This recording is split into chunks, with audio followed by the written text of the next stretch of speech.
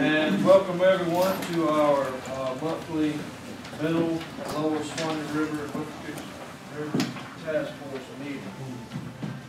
Uh, So, most everybody here knows each other, but we're gonna go through a round of introductions and we'll, uh, as far as the, the board ourselves and then around the room, like if you announce who you are and who you represent.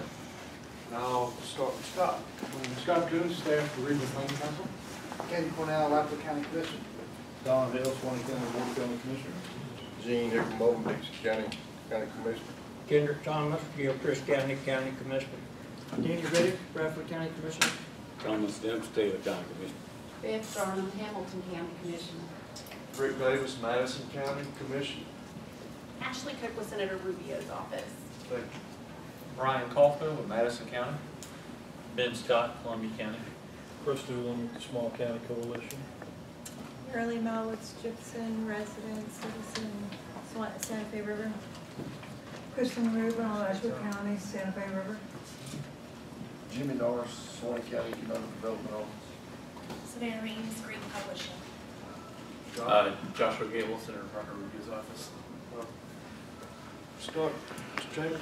Um, Hi there, John Quarterman, Suwannee Riverkeeper. Have some things to hand out later if you don't mind. Darlene Velez, Suwannee River Water Management. Tom Mirti, Suwannee River Water Management District.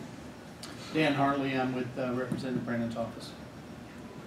Dave Hetzel, member of WWALS and Suwannee River Keeper with John. Tom Mofsky, Florida Department of Health for Columbia and Hamilton County.